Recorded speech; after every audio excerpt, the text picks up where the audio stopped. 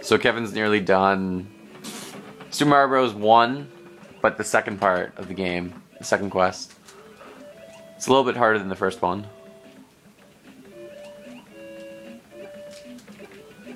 And he's an 8-4, which is the last world.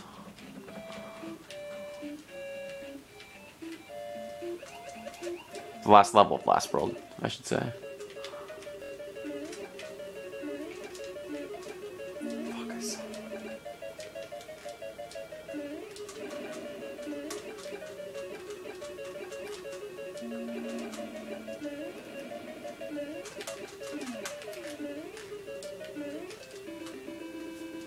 So you just beat both? Yeah. Wow. It's crazy. Seven lives. Did you like so you never got a game over once the entire time through that round? No. Wow, that's crazy. Well done.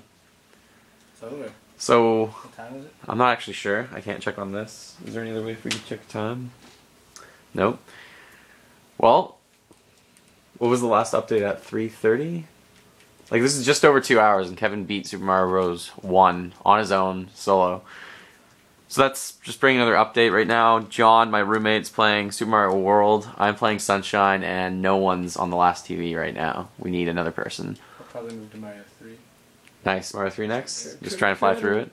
So Kevin's going to move on to Mario 3, uh, and then we gotta get through the lost levels at some point. You're like, you're our sole hope to do that one really well. Last levels we're gonna be kind of cheating with the continues, because you can, Right. you can always restart the level. So like Colin got pretty good at it pretty quickly, so we could just like power through taking turns. Okay, excellent. Because we're playing uh, the lost levels on the Super Nintendo cart rather than actually on the NES. Alright, so I'll bring you guys another update later in a little bit. Talk to you later.